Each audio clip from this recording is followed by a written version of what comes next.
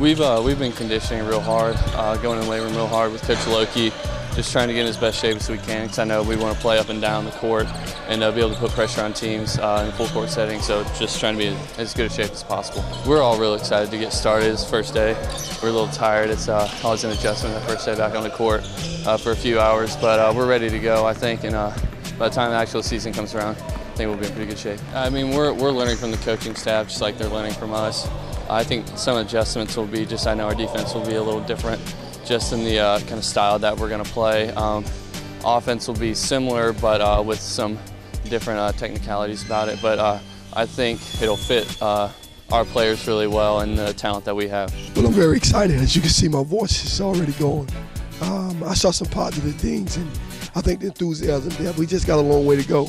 But our guys seem to be focused. They understand the challenges that we have uh, ahead of us but we got to get better. We're teaching some new things, and they're having to learn it. Um, but they're doing a good job of uh, absorbing the information and giving it back to us. That's very important. Well, they've they've done a fantastic job conditioning wise. We challenged them on a lot of fronts, and uh, they met those challenges head on. And I think that you see some of the residual that they are in better shape coming in this year as opposed to years before. We pushed, we pushed we got a long way to go.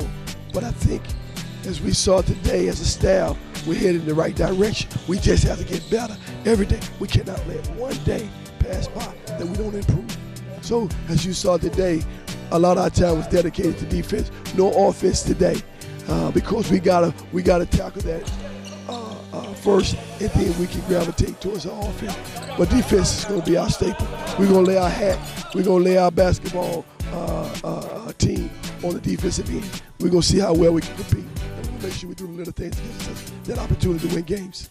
I mean, you know, just from what I've known from them so far, they bring a lot of knowledge to the game. Uh, they're teaching us a lot of different principles, you know, that'll take our game to the next level.